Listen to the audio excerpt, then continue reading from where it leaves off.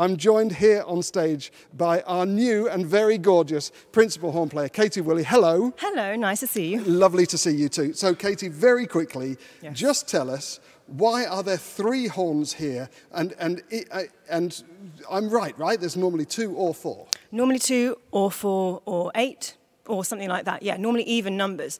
Now, Beethoven normally wrote for two horns because, as you say, this was the bridge between classical and romantic, and he was a little bit more based in his classical style of orchestration. So, two horns.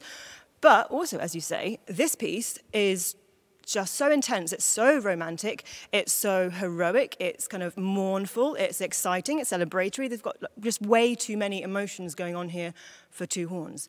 And what is the instrument that covers every emotion under the sun? It's the French horn. So he added one to make sure you could really kind of get the most out of the sound of the instrument.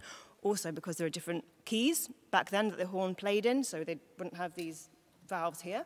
They just had different lengths of tubing which they'd add on to make it play in different keys. So with two horns, you can basically have one key at a time, and then when you have three, you basically have many more colors and many more keys in which you can play. Okay, so the horns that were being played at the time didn't look like this. Exactly. They, they, were just all done with the with the lip. With that, and also a bit of that as well. That's why the hand is in the bell. We used to change the notes that way.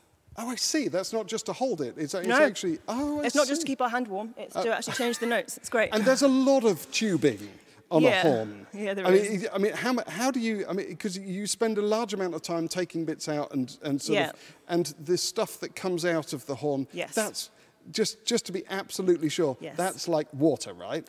I mean, would you drink it? No, let's not go there. Let's move on. Okay, it, but it's, it's condensation. It's mostly basically. condensation. Yeah. Okay. And in Corona times, we make sure that we have our own towels, which we then go and wash. So we take it all away. So every concert yep. is taken away, washed, yep. everything's safe. Exactly. Okay, because yep. this is, of course, one of the issues with, uh, with playing in an orchestra is, the, exactly. is the spread, which, of course, there isn't any, which has been proved many times. Great. Now, the way that horns are sat yeah. normally in an orchestra is that there's, let's just say there's four of you, mm -hmm. but, I, but it's also that it's like one, three, two, four. There's some kind of weird thing that you wouldn't necessarily would know unless yeah. you were reading a score. Can you just explain why that why that is? What what's what's with the Yeah, absolutely. So we like being mysterious, but generally speaking, so it does go one, two, three, four. This kind of goes back to the time when they had different keys without valves. So when Beethoven started to add more horns, would quite often have the first two, um, or Brahms even, people like that, first two in two different keys, or one key, sorry, and the people at the back, so three and four, would almost be like another set of one and two, principal and second, in a different key. So therefore you have like one team of high-low and another team of high-low, and that just became the tradition. And so you have a high horn, low horn, high horn, low horn.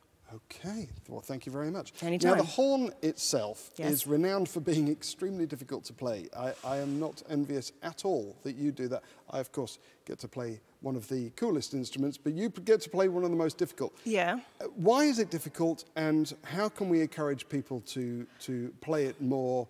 It, it's such a beautiful instrument when played it's well. It's the most beautiful instrument. I think every instrument has its difficulty, um, and I think I would say that is, okay, the main thing which is difficult in inverted commas is the fact that the notes are very close together, and so you might maybe, um, if you're not quite precise enough, um, go a bit below or a bit above. Um, it's what we call splitting a note. So that is possible. Um, but then again, it's a bit like on a violin or, or a double bass. If you put your finger a little bit too high or too low, you mm -hmm. go a mm-hmm. bit sharp or flat. Or your difficulties is carrying it around because it's very large. you know, we all have different difficulties. But for me, it's not about the difficulties. It's about what the possibilities of the instrument are. Right. And I think every instrument also has amazing possibilities. And the, the upsides to this are just far too great to, to let the difficulties become a problem. Well, I have to say that the horns are featured highly, especially in the third movement, yeah, right? we get to have a little bit of fun, yeah. It is, and it's really the most magnificent sound.